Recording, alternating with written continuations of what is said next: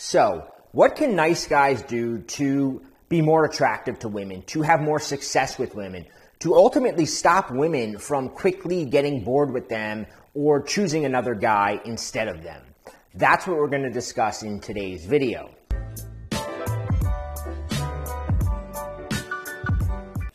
My name is Bobby Rio, and after coaching guys for, for many, many years now, a pattern that I see over and over again is certain guys instinctively fall into a category referred to as nice guys. I was one of them.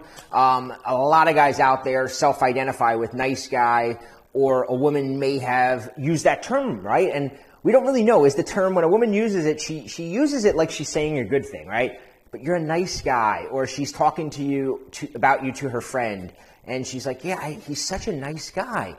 But ultimately, what comes after that is, but I just don't feel it. So one of the reasons that women don't feel it with nice guys is because they're missing a few traits, right?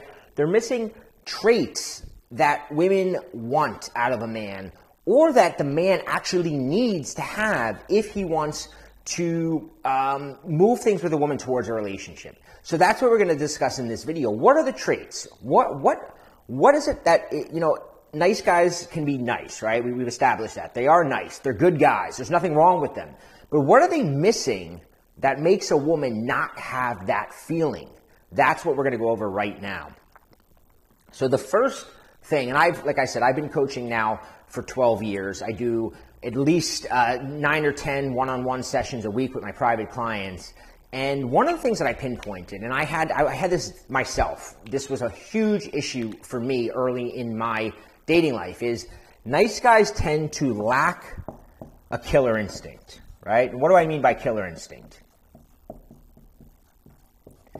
So, what I mean by killer instinct is nice guys are afraid to fully go after what they want right? And this is why nice guys wind up in the friend zone because they don't have that killer instinct. And I see it all the time. I was out with a friend of mine a few months ago, and he there was a woman there that he was kind of being set up with, right? Um, somebody had kind of trying to put them together. We're out, and I watched him interact with her, and he would go over and he would talk to her, and we'd be like nice, and he was even decently flirting with her a little bit. But then he would walk back over to me, and talk to me. And then at the end of the night, it was like the end of the night came, and here was this girl that came to meet up with him, and he winds up going, Hey, nice meeting you, gives her like the hug, and that was it, right? He didn't take responsibility for making something more happen. And nice guys do this all the time. They do it when they're having a good conversation with a woman and they're afraid to go, Hey, give me, give me your number. We, have got to continue this conversation. We got to hang out sometime. Give me your number, right? Instead, they try to pussyfoot around it. Um, they do it at the end of a date when the date's going really well, and it, it, it's like the woman's like waiting for them to invite them back to their house or to make a move or to go for the kiss. And instead, in their mind, they're like, well, I'll do it next time. It's too soon to go for the kiss. She might think I'm a player or I'm only trying to sleep with her. And they never, ever take it to that intimate level, right? They lack that killer instinct. And you need that instinct, right? Um, it, it, it's what makes men successful in, in, in all areas of life. The guys who are best at sports have that killer instinct. The guys that are best in business have that killer instinct. And the guys that are best with women have that killer instinct. And you've got to be conscious of this. And if, if you notice that a trait you're missing, you've got to realize, am I missing a killer instinct? Am I not making things happen? Am I not like being assertive enough to close the deal? All right, so the second trait that nice guys tend to be missing when they are with a woman is playfulness. Because ultimately, a woman has to have a good time when she's with you, right? It's not just about games. It's not just about, uh, you know, all, all, the sort of uh, qualities that, that I might have discussed in some of my other videos. There's also the element of her going, wow, we really connect. Wow, there's chemistry here. And chemistry happens between a man and a woman when they're on what I call the playground.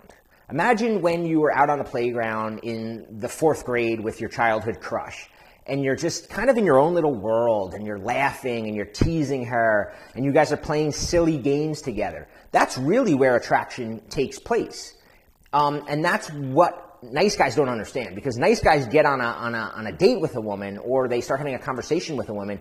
And instead of taking a woman to this playground, they take her on a job interview, right? They start asking her, so what do you do for a living? Oh, yeah. And they, they, they, they, they, have all these questions. How do you like your job? How did you get started in that? You know, oh, yeah, cool. Like, and there's no playfulness there. And without playfulness, there is no chemistry. And the, the, thing with nice guys is they're usually pretty fun, playful guys, right? When they're hanging out with their friends, they tend to be laughing, funny. But when they get around a woman, all of a sudden it's like this serious side of them comes out and they don't let that guard down. Or the other side of it is they are really playful, but they lack the killer instinct. So they do too much playfulness. But in general, I found most times that guys, especially the first few times they're on a date with a woman, they're very much stiff, formal, and come across a little boring instead of that guy that takes her into that little fantasy world on the playground where she kind of forgets about everything else and just engaged with the guy and laughing and having fun. All right, so the next uh, trait that nice guys tend to be missing is the trait of anticipation, the ability to create anticipation, right? And if you study what women respond to in terms of um, romance novels or the kind of TV shows or movies that women instinctively are drawn to.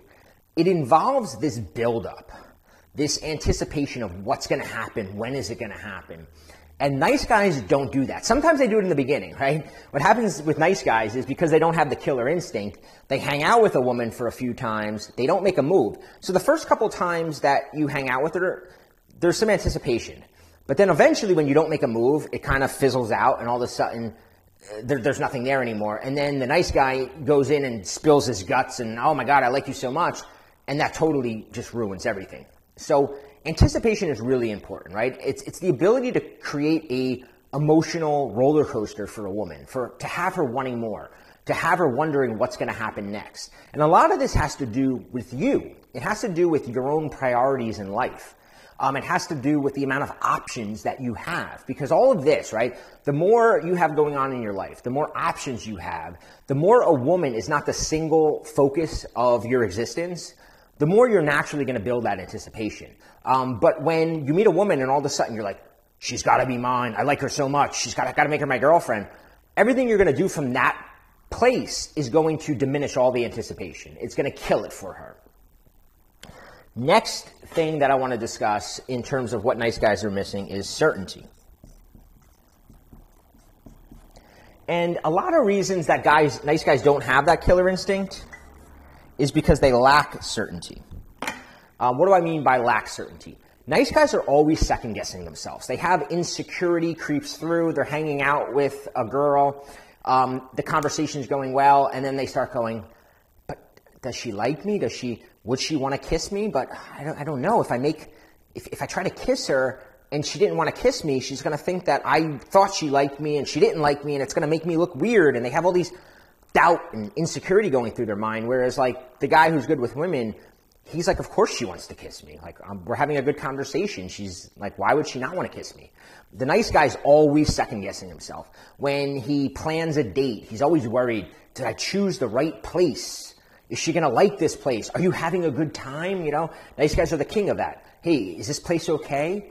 And whenever you do that, you're lacking certainty. Um, certainty is a belief in yourself. It's a belief that your opinion is a strong opinion. It's a belief that when you choose to do something, it's the right choice. And when you doubt yourself, it creeps through and it comes across as very insecure to a woman. And it makes her doubt you. It comes across as needy. And if a woman is go, goes, he seems like he's not sure that I should like him. Maybe I shouldn't like him, right? If you're like always needing that reassurance from her, in her mind she's like, wait a minute, why why is he so insecure? Well, maybe maybe I had this guy wrong, right? And that's what happens. So the fifth trait that nice guys tend to be missing is a high price tag.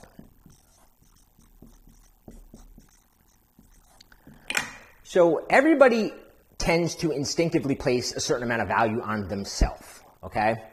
And whenever we meet somebody else, we kind of judge our value against theirs. It's human nature. We all do it. Um, we do it when we're talking to a, a, a coworker or a friend or anything, right? A guy, a girl. We always kind of know, like, like, am I more valuable or are they more value? And it, it kind of sounds messed up to say, but we all, on some level, do this. Well, what happens with nice guys is when they meet a woman that they like, they immediately assign her more value than themselves. They automatically give her the higher value, that the position of status. And when you do that, right, when you give a woman the status, you become her fan. You become the guy below her. And you're assigning that level. A lot of guys think, well, women, you know, women don't like me or women, but the thing is, is that you're, everything you do projects that you see her as above you. And when you see a woman as above you, she's going to look down on you because you're training her to do that. And that's what happens to a lot of nice guys. They train a woman to look down on them. Whereas the, the guy that we might call a player or a jerk, he's actually training a woman to see him as having more value than she does. And she's always looking up at him, right? And that's why she's chasing him because she sees him as having more value. And we always sort of chase something that we deem valuable.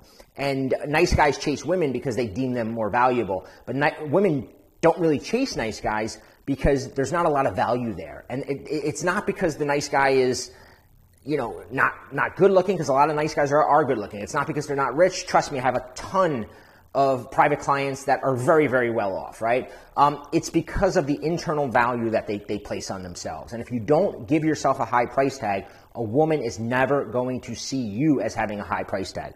A quick, quick review of everything first uh, before we move on. So the killer instinct is something that means you don't take that next step, right? There's always that next step that has to be taken, whether, you know, we talk about in sales, right? To go for the close.